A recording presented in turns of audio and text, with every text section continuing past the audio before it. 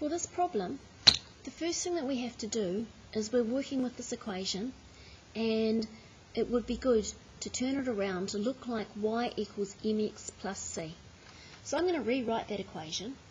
4y minus 3x equals 8 and I'm going to take the 3x to the other side of the equals.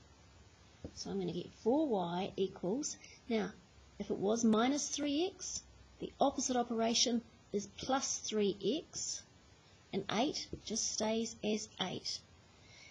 My y is, is multiplied by 4.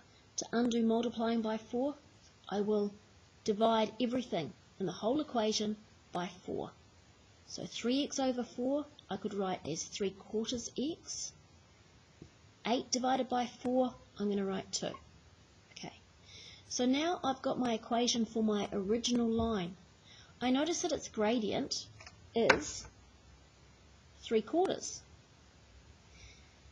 When I get a perpendicular line, I have to make the two gradients multiply to give negative 1. A quick way to do this is for the perpendicular line, for perp line, the gradient will have to be turn it upside down and make it the opposite sign. Okay, so now we know the gradient of our perpendicular line.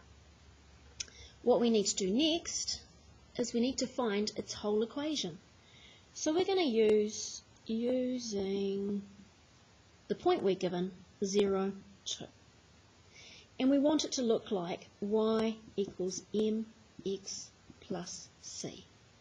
So I'm going to write underneath a little x and a little y so I know what I'm dealing with. Okay, so 2 equals the m, the new m, negative 4 over 3, my x plus c. Okay, that works out to be 0, so that tells me that 2 is c. Finally, I'm going to write down my full answer. Answer. Y. Found my m. My m was negative 4 over 3. X, never forget the x. Lots of people forget the x.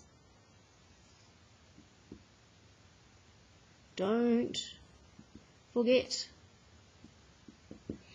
Negative 4 over 3x plus 2.